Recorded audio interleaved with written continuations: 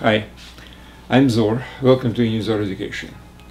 Um, well, we continue talking about vectors, but today is a, a lecture with a different philosophy, I would say. Um, if you remember, maybe, um, in the beginning of the prerequisite course, uh, Math for Teens, um, I was talking about abstraction. So mathematicians are involved in very important process. They have an object, they might learn something about this object, about its properties. But then they are trying to basically separate properties from the object and go to a certain higher level um, saying, okay, let's talk about all objects which have these particular properties. What can we say about this? Well, from these properties, which can be, you know, taken as an axiom, you can derive certain other properties. But since we have already on the upper level, we're talking about any object which has these primary properties, then all the subsequent properties which were derived from these primary ones will be true for any other object which have the same prime properties. So these prime properties, like axioms basically, if we take them into, um, uh, into consideration, they are uh, changing completely the philosophy, not from the object we research its properties, but from the properties we research other properties. Now, this is exactly what I'm going to talk about today. We were talking before about vector spaces. Um, usually it was like two-dimensional, uh, three-dimensional. Now the last lecture was about n-dimensional um, properties. Right now I will not talk about any particular space, vector space. I will be talking about any kind of a set which has the properties similar to whatever we were talking about. I'm, I'm talking about basic properties, primary properties. And then, based on this, I will try to derive certain um, consequences, but they will be applicable not only to these two-dimensional, three-dimensional, or n-dimensional vector spaces we uh, learned before, but they will be applicable to any other space or set which has the same prime properties. And there are many sets which share properties with those two or three dimensional vector vector spaces. And we will call them vector spaces as well. Okay?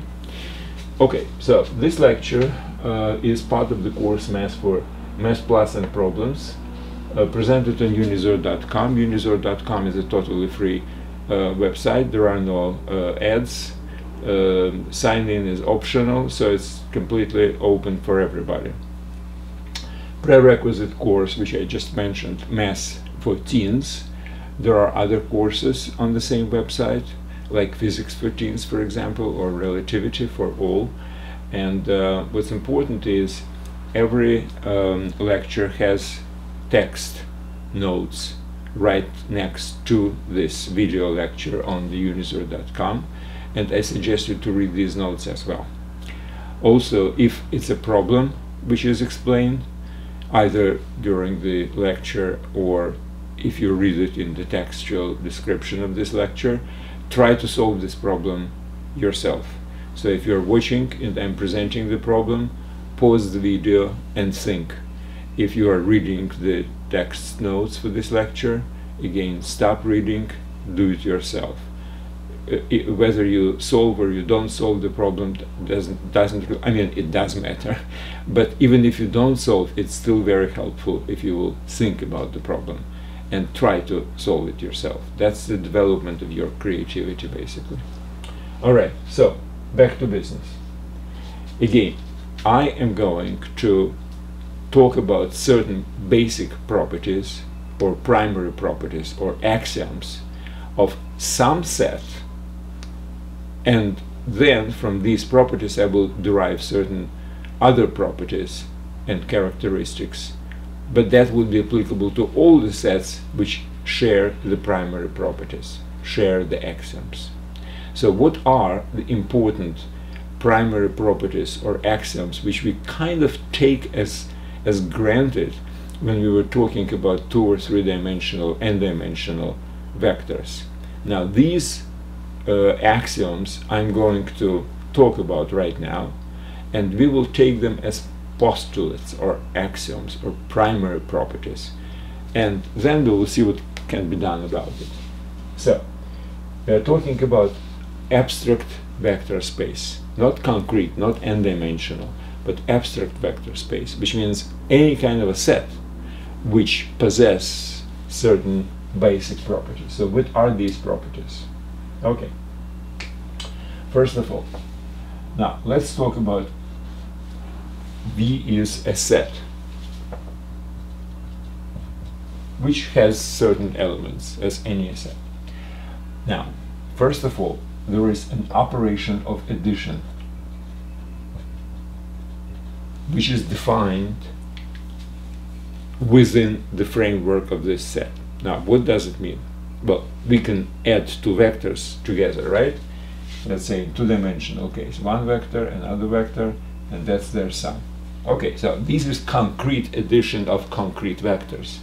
Now, what I'm talking about right now about abstract vector space, I'm just talking that for any two vectors which belong to V, for any A and B belongs to set V,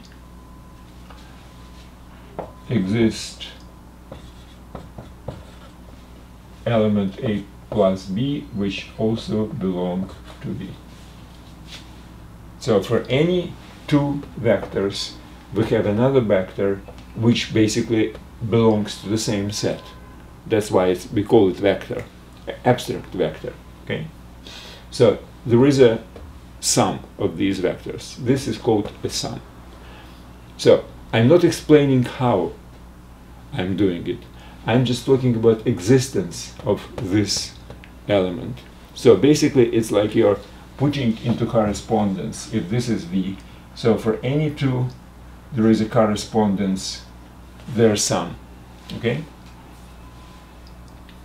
Now, as an example of the vector space, which is not like two or three dimensional vector space, we can have, for instance, a set of all functions, just all functions, or all continuous functions defined uh, uh, on uh, uh, real numbers, for example, or on complex numbers.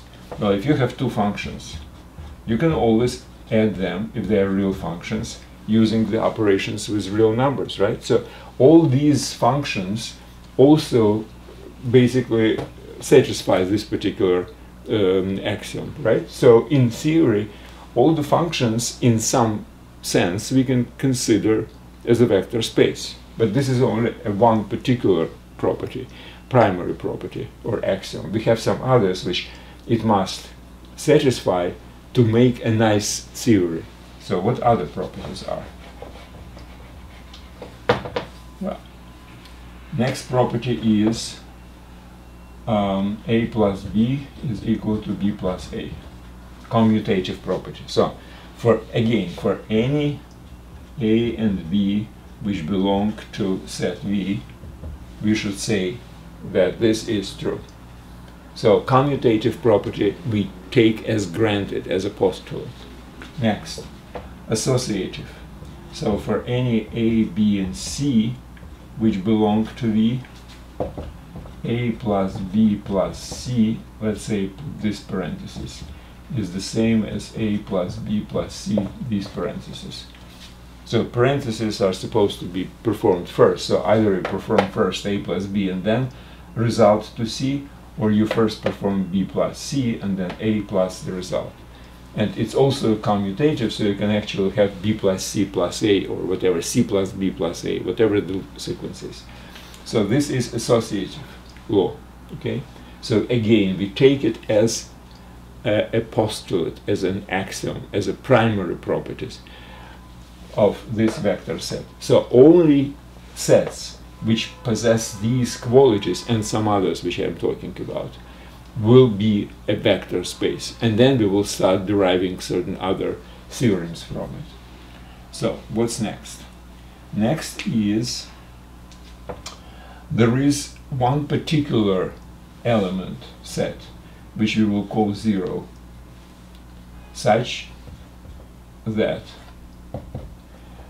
if you add it to any other set, to, any other element of this set, it will not change. That's why we call it zero. Well, in uh, let's say n-dimensional vector space, we have null vector, which is 0, 0, etc., 0, right? So if you will add it to any other vector, n-dimensional vector, that n-dimensional vector will have exactly the same components.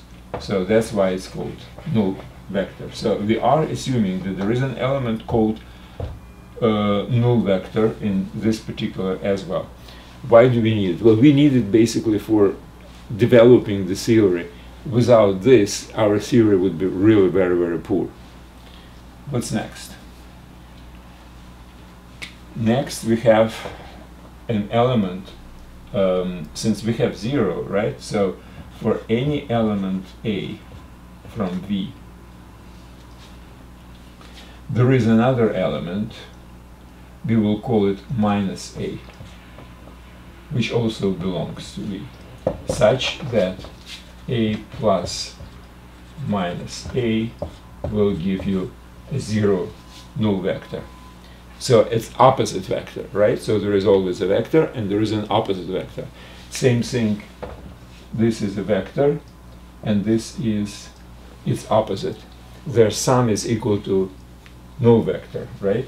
So that's why we need this to have nice arithmetic between all these elements of our set, between all these vectors. So this actually gives me the operation of addition. Now I can say that my operation of addition is defined basically similarly to regular operation of addition with either real numbers or complex numbers or uh, three-dimensional vectors or whatever else. Because in all these cases, concrete cases, these axioms are um, uh, satisfied. But again, since I'm not talking about any concrete um, incarnation of vector space, I'm talking about abstract vector space. So I don't know how it's basically done, as long as these properties are satisfied. Okay.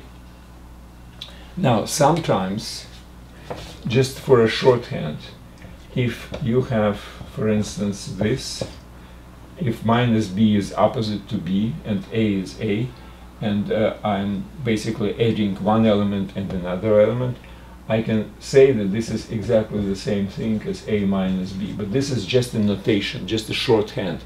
There is no such thing as subtraction there is only addition uh, to an opposite element. So this is just a shorthand. If I if I will write it this way, I assume it's this basically, just for shorthand.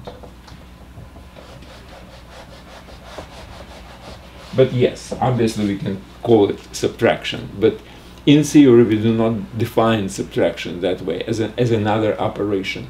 No, there is no other operation. There is an operation of addition and there is an opposite element. Okay, so that's about addition. Now, what's also what's also very important about vectors is vectors can be um, multiplied by a scalar. Uh, vector times 2, for example. So this is a vector, and this is a twice as long vector, right? So we, have we have exactly the same thing with uh, abstract vectors we would like to be able to multiply it by something, by some scalar. So there is supposed to be another set of scalars, right? So that's scalars. Scalar. Now, for our purposes, now scalars are also supposed to have some arithmetic between them because again in in, let's say, the three-dimensional case, scalar is usually a real number, right? And real numbers also have addition or subtraction. So we can multiply, uh, let's say, we can multiply vector by 2 or we can multiply it by 3 plus 2, right? So we assume that there is an operation of plus between two different scalars because they are real numbers in our previous case. Now, instead of going into the same kind of abstraction with scalars, I really don't want uh, you to deviate from the vector side. So for now and probably for foreseeable future, I will assume that the scalars are just real numbers. It's simpler. That in, but in theory, I can say that okay, scalars are some kind of uh, set of um, some some some elements, and these elements can be also like added to each other, subtracted to each other, multiplied by zero should be there, one should be etc. So instead of going into abstraction about scalars, I just assume that it's simpler to assume that we have just the uh, uh, real numbers as scalars. So I'm introducing operations between vectors of abstract vector space and scalars which are really assumed to be real numbers. Maybe I will not say that this is real numbers, but I will assume that the properties of the scalars are exactly the same as properties of real numbers, which means they can be subtracted, added, uh, multiplied, 0, 1, etc. So what properties which I need? Okay, let me finish with this one. And we were talking about multiplication by a scalar.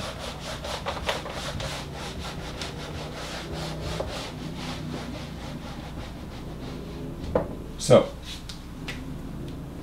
for every for every element A which belongs to my uh, abstract vector space and element alpha again any element alpha. Um, any element alpha which belongs to my scalars. Exists something which I called um, alpha times uh, A which belongs to a, again vector space. So that means that I can multiply vector by scalar to get some kind of other vector. Again, this is like an axiom. I'm saying that, okay, the operation between any element of the vector space and any element of the scalar space, which basically has the same properties as, as real numbers, there is their product. Now, I assume that this product is commutative. So you can actually multiply from the left, multiply from the right, this scalar, and you will have exactly the same number, uh, the same vector as a result. Next. Next, there is something which is, so this is commutative, commutative. Now, associative, alpha and beta times A. So I assume that there is a product between two scalars, and if they are real numbers, obviously we can multiply them together. But that would be the same as if I will do first uh, beta and then alpha. And by the way, because again we are assuming all the properties of the scalars are the same as real numbers, instead of alpha and beta I can have beta and alpha, because in real numbers, num multiplication of real numbers is commutative, right? So this is another axiom which I am basically postulating. Now, there is something which is called null uh, scalar. So there exists a null scalar which belongs to S, such as if you multiply this null scalar by any element A, you will get zero uh, null vector. So this is a vector, this belongs to V, and this belongs to V. So this is a null vector. So this zero, which I'm uh, slashing, that's basically a scalar I would like to differentiate one zero from another. This zero is from a scalar, this zero is from a vector set. So from a scalar, it's a constant actually, um, uh, like real number zero. And this is a null vector, which means that's the that's the null which will which it, if we will add it to any other vector will not change the vector. So that's what null vector is. So understand this difference very important in this case. Also, there is a, an element which I call 1. And this is again, if we are prototyping this after real numbers, this is a number 1. This is number 0, this is number 1.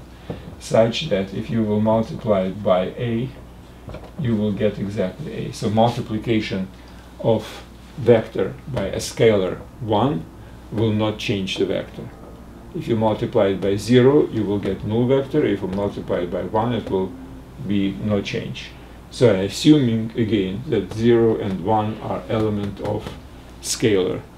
Uh, but again, if we are assuming it's real numbers, that's fine. Okay, what else? And there is a distributive law, that's very important. Now, there is a distributive law versus sum of two different vectors. That's alpha times A plus alpha times B. And there is a distributive law versus two scalars. So that's alpha A plus beta A. Now, all these properties, again, we postulate. We are assuming that this set and this set have all the properties which I was talking about, about addition and about the multiplication by scalar. So that's it. Okay, that's it about properties. Now, what I will do, using these properties, I will um, prove a couple of theorems, very, very simple theorems, but nevertheless, the number of properties which we were talking about right now, the primary properties, the axioms, the postulates, if you wish. Now, all these are sufficient to prove certain uh, theorems. And these theorems will be true for any vector space if it satisfies the axioms we were talking about. So my first problem is, okay, there is only one, okay, one null vector. So I would like to prove that there is only one null vector in the vector space. There's no two nulls, null vectors. Now, null vector again, it's the vector which added to something else will not change that something else. Okay, but let's just assume that there are two, and we will come to a contradiction. So let's say we will have O1 and O2, two different null vectors. Now, if this is no, if O2 is null vector, then add it to O1, it should be O1, right? Now, I know that our operation of addition is commutative, so let's write down this, this way. Now, if O1 is null vector, then add it to something else, like in O2, it should be O2, right? Now, the left parts are the same, which means the right parts must be the same. Now left parts are the same because of commutative axiom which we have assumed, right? So these must be the same. So there is no two different O1 and O2, there is only one O2. Oh, uh, there is only one O, which is null vector. There is only one null vector for any vector space. And that's important property. Next. Next is there is only one uh, opposite element. So if you have an element A, there is an element minus A, but there is only one element minus A. If you add them together, that would be null vector. Okay, so how can I prove that? All right. Let me write the following. Minus A1 plus A plus minus A2. So let's just assume that element A has two different opposite elements. Now, what is this uh, expression? On one hand, if I will put an associative, associative law here, Now, element plus opposite supposed to be null vector.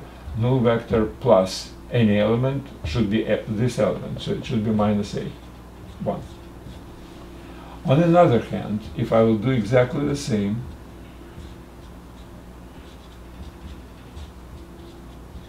but I will put parentheses here, what happens here? Again, we are using associative law, which we have assumed is true. Now, if this element is opposite to this one, then its sum is supposed to be null vector. Null vector plus anything should be that anything. It should be minus i2. So again, left parts are the same. Again, I'm using associative, commutative law, whatever. So they are the same, which means the right part is supposed to be the same. So there is no two different opposite elements. There is only one opposite element to A. Okay? And uh, the third one is, okay, the third one is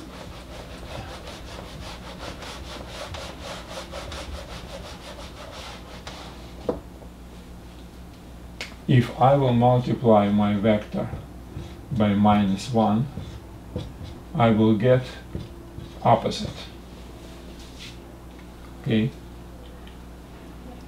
How can I prove that? Okay, here it is.